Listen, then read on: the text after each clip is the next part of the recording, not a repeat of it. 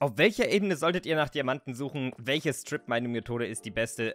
Lohnt es sich mit TNT zu farmen? Welche Enchantments sind die besten? Und lohnt sich ein Beacon, um Diamanten zu farmen? Diese Fragen werden wir jetzt alle in diesem Video klären. Also wünsche ich euch schon mal viel Spaß. So, kommen wir direkt zur allerwichtigsten Frage und zwar, auf welcher Ebene soll ich überhaupt nach Diamanten suchen? Das ist wahrscheinlich die Frage, die die meisten von euch sich stellen und das ist eigentlich relativ simpel, denn es gibt eine Regel seit dem Cliffs und Caves Update. Je tiefer ihr geht, desto mehr Diamanten findet ihr. Wichtig, eine Sache hier wichtig zu beachten. Erstmal zeige ich euch die Ebene und zwar ist es minus 57. Das ist die beste Ebene, obwohl es tiefer geht. Und zwar aus einem ganz einfachen Grund. Das zeige ich euch direkt mal. Und zwar Bedrock. Bedrock kann nämlich Diamanten ersetzen, wenn beim Spawn. Und zwar ist hier, das ist unsere Ebene 57, wo das Bett hier steht, also sozusagen die Blöcke hier. Und auf der suchen wir ja nach Diamanten. Und hier auf den beiden können noch Diamanten ohne Probleme spawnen, weil ab hier ab 59 fängt an Bedrock zu spawnen. Und wenn jetzt beispielsweise Diamanten hier spawnen würden, in dem Bereich, dann würden ja hier vielleicht auch Diamanten sein, aber dann ersetzt das Bedrock sozusagen den Diamanten. Das heißt, ihr findet dann Diamanten zwar auch in den niedrigeren Höhen und vielleicht so auch zu einer minimal höheren Wahrscheinlichkeit, aber das Problem ist, dass da das Bedrock Diamanten ersetzen kann. Muss nicht natürlich, geht ja auch noch tiefer. Oder hier wird es halt auch schon knapp, wenn wir auf der Ebene was finden. In der Regel werden wir aber auf den beiden Ebenen was finden, aber ihr seht, auch hier könnte es sein, dass hier beispielsweise noch Diamant sozusagen einfach durch Bedrock ersetzt werden würde, was sehr, sehr ärgerlich wäre. Deswegen ist wirklich die beste Höhe Höhe 57.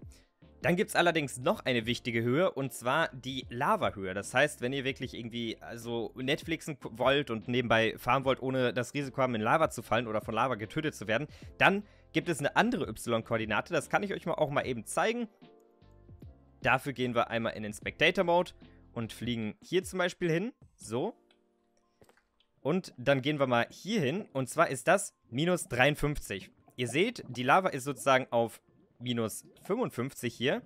Und auf 54, wenn ihr hier buddeln würdet, also jetzt hier sozusagen Strip minen würdet, dann würdet ihr in die Lava fallen, auf der Höhe nicht. Das ist jetzt auch nicht einfach so ein Zufall hier, das ist wirklich schon ähm, ja, sehr, sehr häufig so. Ich kann mal gucken, ob ich jetzt hier zum Beispiel, hier wird es auch minus, 3, äh, also minus 53 die richtige Höhe sein, wie ihr sehen könnt. Oder wenn wir jetzt mal in die Richtung gucken, da wird es auch wieder minus 53 sein. Es ist natürlich nicht 100% zuverlässig. Ja, hier passt es auch wieder. Ähm, und wenn wir mal die Render-Distance hochstellen, dann wird es wahrscheinlich noch deutlich mehr sein. So, ich glaube, in die Richtung kann man sehr schön sehen. Wir haben oben einzelne Lava, äh, ja, Pakete, sage ich mal, wieder oben, wo die Lava in einzelnen Blöcken ist. Aber die ganzen Lavaseen sind alle auf minus, 3, äh, minus äh, 55. Das heißt, wenn ihr auf minus 53 steht, so wie ich gerade, dann solltet ihr safe sein. Ich kann euch das hier nochmal zeigen. Also, so, wir gehen jetzt mal... Oh. Jetzt hier drauf, dann stehen wir auf minus 53 und das wäre die perfekte Höhe, um jetzt hier anfang, anzufangen zu strip mine oder generell einfach, äh, ja, Diamanten zu suchen. Da seid ihr sicher vor Lava sehen. So, jetzt haben wir schon mal die richtige Y-Koordinate, auf der wir suchen können, aber jetzt, was ist eigentlich die beste Mining-Strategie? Da streiten sich die Geister und ich glaube, es gibt da kein richtig und kein falsch, aber es gibt auf jeden Fall Varianten, die, wo es Sinn macht, auf die zurückzugreifen, weil sie einfach logisch gesehen besser sind. Da haben wir erstmal natürlich die klassische Variante, dass man sagt, okay, ich strip meine einfach so und gehe einfach meinen Gang lang, bis ich Diamanten gefunden habe und mache dann einfach hier noch eine Reihe. Das machen viele und das ist gerade ein Anfängerfehler, denn ja, die Seite guckt ihr sozusagen zweimal an. Also diesen Block den seht ihr von dieser Seite und auch von dieser Seite. Das heißt, es ist eigentlich unnötig, immer nur einen Block freizulassen. Deswegen ist es schon mal empfehlenswerter, zwei Blöcke freizulassen und hier den nächsten Gang zu starten. So, denn hier, dieser, diese komplette Reihe ist neu und dadurch sparen wir uns eine Seite doppelt anzusehen. Das heißt, hier hätten wir halt einfach, ist einfach sinnvoller und wir sparen uns etwas Ressourcen. Jetzt geht es aber auch noch einen Schritt weiter und wir könnten sagen, ey, wir lassen drei Reihen frei und machen hier weiter. Da werden jetzt viele von euch wahrscheinlich sagen, ey, Remake, ja, cool. Aber da bleibt ja die mittlere Reihe frei. Ja, da habt ihr einerseits recht. Andererseits gesehen wird in dieser mittleren Reihe selten Diamant zu finden sein. Denn ich gehe mal hier, hier habe ich was vorbereitet. Ich sag mal, Diamanten spawnen selten so. Das wäre jetzt unsere mittlere Reihe und die beiden Reihen hätten wir auch nicht gemeint. Und dann wird es in der Regel nicht so spawnen, sondern es wird eher so beispielsweise spawnen. Das heißt, wenn wir jetzt diesen Gang und diesen Gang nehmen, dann, dann werden wir in diesem Gang die Diamanten finden. Klar, es kann passieren, dass die wirklich so spawnen. ke keine Frage. Aber die Wahrscheinlichkeit, dass das äh, passiert, ist nicht wirklich hoch. Klar, sie ist gegeben und ihr werdet Diamanten verpassen mit der Strategie, aber dadurch spart ihr euch 50% der, also weil ihr halt immer einen Gang weniger meinen müsst, spart ihr euch so, seid ihr 50% schneller im Mine. Und so viele Diamanten werden sich in diesem mittleren Gang hier nicht verstecken, dass es sich auf jeden Fall lohnt, wirklich auch zu sagen, ey, ich lasse immer drei Gänge frei. Klar könntet ihr jetzt sagen, okay, ich will auf Nummer sicher gehen und wirklich alles raus und ich nehme nur zwei Gänge, aber ich würde euch empfehlen, drei Gänge zu nehmen. Das ist meiner Erfahrung nach mit Abstand die beste Strategie, immer drei Blöcke freizulassen und dann sozusagen immer jeden dritten Gang zu nehmen. Ihr könnt es natürlich auch selber mal ausprobieren und äh, vielleicht testeshalber immer, wenn ihr drei Reihen freigelassen habt, immer hier mal zwischengehen und gucken, ob ihr da wirklich noch Diamanten findet. Schreibt es gerne in die Kommentare, wenn das der Fall ist. So, und um euch das nochmal zu zeigen, werde ich jetzt mal die beiden Gänge hier beide strip minen, bis wir Diamanten gefunden haben. Und dann können wir nochmal überprüfen, ob in der Mitte Diamanten gewesen wären. Also ich mache das mal eben und dann sehen wir uns gleich wieder.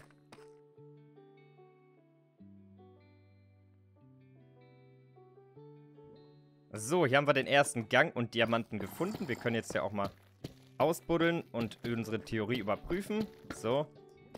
Und wie wir sehen, hier in dem Dreierfall hätten wir es gefunden. Wobei die Diamanten jetzt tatsächlich auch auf dem Boden gespawnt sind. Also hätten wir jetzt beispielsweise den Gang genommen, dann die drei hier nicht genommen und den Gang genommen, hätten wir diese jetzt nicht gefunden. Aber wie gesagt, die Wahrscheinlichkeit, dass das passiert, ist ja relativ gering, weil das ja wirklich genau in dem Gang spawnen muss. Aber wir nehmen mal die anderen beiden Gänge noch. So, und hier habe ich jetzt gerade schon ein paar Diamanten zerstört. Haben wir jetzt wieder Diamanten gefunden. Das ging jetzt sogar recht flott. Also das ist wirklich hier nicht gestaged oder so. Ich habe die jetzt wirklich gesucht. Wir buddeln die mal eben aus und gucken, wie die hier liegen. Oh, jetzt habe ich wieder einen kaputt gemacht. Also die sind auch wieder in zwei Reihen gespawnt. Also hier waren ja gerade auch Diamanten, die ich zerstört habe.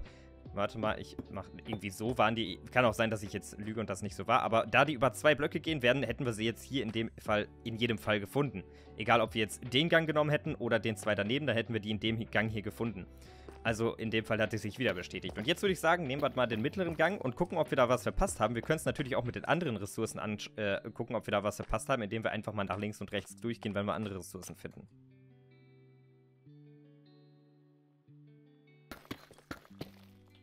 Oh, was ist das denn? Das ist G-Portal, der Sponsor des heutigen Videos. Bei G-Portal könnt ihr euren eigenen Minecraft-Server mieten, um allein oder mit Freunden zu spielen. Die Server sind super günstig und ihr könnt sogar eure bestehende Survival-Welt auf den Server tragen und dann dort weiterspielen. Ein Server zu erstellen dauert nur 2 Minuten und mit dem Link in der Videobeschreibung bekommt ihr 10% Rabatt auf alle Server und unterstützt mich gleichzeitig. So, hier haben wir jetzt Diamanten gefunden. Aber wir haben den Gang hier auch gerade nicht zu Ende gemacht. Das heißt, hier müsste unser anderer Gang sein. Und dann seht ihr, haben wir das hier wieder gefunden. Ich zeige euch auch mal eben, dass ich nicht lüge. Also ich gehe mal eben den Gang lang und dann müssen wir jede Sekunde auf unseren Gang von gerade stoßen. Ich bin nämlich in der Mitte jetzt etwas weitergegangen. Zack. Und hier hätten wir die Diamanten dann in dem Fall auch gefunden. Also hätten wir sie hier in, wieder auch gefunden. Hier vorne war auch noch Redstone. Ich kann mal eben prüfen, ob wir das gefunden hätten. Aber auch das hätten wir gefunden, wie ihr seht. Also es ist wirklich unwahrscheinlich, dass ihr wirklich nur in dem Gang oder auf dem Boden oder auf der Decke hier äh, Diamanten äh, findet die ihr sonst nicht gefunden hätte. Klar, aber äh, es könnte sein, dass die jetzt hier im Viererpack auf dem Boden spawnen, wie wir es gerade hatten. Aber dann wäre es halt auch bei einem, wenn ihr zwei Gänge freilassen würdet, äh, ja, würdet ihr die auch nicht finden. Also es kann, theoretisch könnt ihr Diamanten übersehen bei 1, 2 und 3 Gängen, aber es ist wirklich am effektivsten, immer 3 Gänge freizulassen, weil ihr dann wirklich das größte Gebiet in der schnellsten Zeit absuchen könnt und verhältnismäßig wenig verpasst. So, dann gibt es auch noch einige, die sagen, ey, man kann auch, mit TNT meinen. Ja, das stimmt, kann man auch machen. Wir können das auch mal gleich probieren. Es gibt äh, da auch gewisse Grenzen, wo es keinen Sinn mehr macht. Wir gehen jetzt mal hier rein. Ähm, und beim TNT solltet ihr auch einiges beachten. Und wir knallen jetzt mal hier ein TNT rein und zünden das an.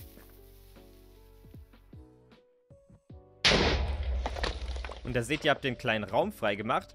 Meines Wissens nach ist es am effizientesten, wenn ihr jetzt so einen kleinen Raum nehmt und dort TNT drauflegt und das dann anzündet. Weil dann wird sozusagen ein, werden auch die äußeren Blöcke alle vernichtet, aber das, da, der, das, der Bereich ist jetzt viel, viel größer. Also es macht Sinn, dann mehrere Bereiche einfach mehrfach zu sprengen. Kann man dann natürlich machen. Ist auch gar nicht so ineffizient, wie ihr sehen könnt. Also wir haben jetzt schon einen guten Bereich hier abgedeckt, haben jetzt leider noch nichts gefunden. Es wird meistens nur die äußere Schicht im Deep Slate angegriffen, wodurch ihr auch gar nicht so viele Diamanten zerstört, wenn ihr wirklich welche findet. Ich glaube, jetzt würde es langsam anf anfangen, keinen Sinn mehr zu machen. Wir können auch mal hier stehen bleiben, weil wir im Crater sind. Weil jetzt nicht mehr so ein großes Gebiet zerstört wird. Also jetzt wäre der Punkt, da würden wir vielleicht, oder wir würden vielleicht einen kleinen Gang immer machen und dann so damit anfangen, dass wir sagen, okay, wir, oh, hier sind sogar Diamanten, aber wir springen jetzt trotzdem mal hoch. Wir, ähm, ja, wir platzieren ein Cobblestone hier, machen dann ein TNT dahin, dann platzieren wir hier nochmal ein und machen wieder ein TNT dahin und wiederholen das Ganze dann ein paar Mal. Oh, ich merke gerade, wir können das jetzt gar nicht sprengen, deswegen mache ich das jetzt trotzdem hintereinander. Da bräuchten wir auch einen Doppelstrategie. Ah ne, das hat jetzt sogar funktioniert, weil die sich verbunden haben. Und jetzt könnten wir da hingehen und sagen, ey, das lohnt sich immer noch, das hier zu machen. Oder, warte, so, damit auch oben getroffen wird. So, ich ma mache das selten, deswegen bin ich jetzt nicht so schnell da drin. So, wir können jetzt hier auch, glaube ich, dann verbinden die sich, glaube ich, auch wieder. So. Und wenn wir dann hier jetzt den dritten machen, dann sollte es passen. Dann verbinden sich, glaube ich, wieder. Ich habe jetzt nicht abgezählt. So. Und ihr seht, hier wurde jetzt ein Diamant kaputt gemacht. Vorher auch einer, deswegen haben wir jetzt auch keine bekommen. Wir, Fortune könnt ihr dann leider auch nicht bei der Pickaxe benutzen. Aber ihr seht, kann man machen. Ist auch gar nicht so ineffizient, wenn ihr jetzt beispielsweise eine Creeper-Farm habt und eine, äh, und eine Papierfarm. Ich kann euch beide auch gerne in der Videobeschreibung verlinken, wie ihr die bauen könnt. Und dann könnt ihr die Strategie benutzen, wenn ihr wirklich noch keine, guten, äh, keine gute Pickaxe habt. Wenn ihr eine Pickaxe habt, dann könnt ihr natürlich jetzt auch die besten Enchantments nehmen. Und die zeige ich euch auch nochmal eben. Übrigens hat bisher nur ein sehr kleiner Teil von euch auch abonniert, was echt schade ist. Wenn euch also mein Video gefällt, würde ich mich riesig über ein Abo und ein Like freuen. Abonnieren ist kostenlos und wenn euch meine Inhalte nicht mehr gefallen, könnt ihr jederzeit wieder deabonnieren. So, und dann hätten wir hier einmal unsere Netherite Pickaxe natürlich im besten Fall. Und dann hätten wir einmal Efficiency 5, logischerweise. Dann hätten wir Unbreaking 3, damit die auch lange hält. Und ganz wichtig natürlich Mending, damit wir die auch für immer benutzen können und die uns nicht kaputt geht oder wir die in der Farm reparieren können. Jetzt haben wir zwei Möglichkeiten. Entweder sagt ihr, ey, ich will erstmal alle Sachen sammeln und die hinterher, ich sag mal, zu Materialien verarbeiten. Dann könnt ihr Silk Touch nehmen, denn dann könnt ihr die ähm, Diamanten einfach als Block abbauen und die, wenn ihr oben seid, einfach in einem Schlag ähm, ja, abbauen. Ähm, kommt auch auf die Blöcke an, die ihr vielleicht bei Mine haben wollt. Oder Fortune 3, das ist dafür da, dass wenn ihr Diamanten ein einsammelt, nicht nur einen Diamanten bekommt, sondern ich, boah, weiß ich jetzt gerade nicht auswendig. Ich glaube, bis zu 4, 5 Diamanten. Diamanten könnt ihr bekommen. Korrigiert mich, wenn ich da gerade falsch liege. Ich habe das jetzt gerade länger nicht mehr recherchiert und achte da auch nie so explizit drauf. Ich äh, mache das immer so, ich meine wirklich mit Silk Touch, damit ich die Blöcke da auch rausbekomme, weil dann bekommt ihr auch wirklich die Silk Touch Blöcke raus. Und warte, ich kann euch auch mal hier die, die echte Geschwindigkeit zeigen. So, und dann bekommt ihr hier diese Blöcke raus. Wenn ihr das jetzt ohne Silk Touch machen würde, kann ich euch auch nochmal zeigen. So, dann würdet ihr jetzt sozusagen Cobbled Deep Slate bekommen. Und die be beiden Blöcke unterscheiden sich halt etwas. Bei Cobblestone und Stone ist das nochmal etwas deutlicher zu sehen. So, dann haben wir jetzt nochmal hier gegenüberliegend Cobblestone und Stone. Also das wäre bei Silk Touch würdet ihr bekommen und das bei äh, ja, Fortune. Und, also, ja, fürs Mine ist es natürlich angenehmer, wenn ihr alles sofort abbauen wollt, dass ihr Fortune nimmt. Ansonsten bekommt ihr diese Blöcke raus und die müsst ihr dann nochmal mit Fortune abbauen hinterher, damit ihr wirklich das Maximum rausbekommt. Aber, eine wichtige Sache haben wir jetzt vergessen, und zwar ein Beacon. Hier haben wir nochmal zum Vergleich die Geschwindigkeit mit der normalen verzauberten Spitzhacke. 1, 2, 3, 4, 1, 2, 3, 4. Also ein relativ gleichmäßiger Rhythmus. Und jetzt machen wir mal ein Beacon an. Sondern da würden wir einmal Haste 2 nehmen. Einmal Speed natürlich für Laufspeed. Und dann könntet ihr jetzt natürlich auch noch die andere nehmen. Resistance, damit ihr nicht so schnell sterbt. Jump Boost oder Strength. Ich nehme gerne Jump Boost dann noch zu meinen. Könnt ihr jetzt natürlich auch noch mehr anmachen. Und wenn wir das jetzt mal vergleichen, dann gerade waren wir bei 1, 2, 3, 4, dann sind wir 1, 2, 3, 4, 1, 2, 3, 4, 1, 2, 3, 4. Also fast doppelt so schnell, also ein Beacon lohnt sich in jedem Fall. Die Range ist auch sehr, sehr hoch. Also wenn ihr jetzt wirklich in mehrere Richtungen dann Strip meint, dann könnt ihr große Areale auf, auf äh, ja, große Areale abfahren. Deswegen lohnt sich ein Beacon dann, wenn ihr wirklich, wirklich durchziehen wollt, sehr einmal eben ein Beacon aus Eisen oder sowas hinzuklatschen, wenn ihr schon welche habt. Das war's aber auch wieder mit dem Video. Ich hoffe, es hat euch geholfen. Wenn ihr noch andere Tipps habt, dann schreibt sie gerne in die Kommentare und dann wünsche ich euch viel Erfolg beim Diamantensuchen. Ciao!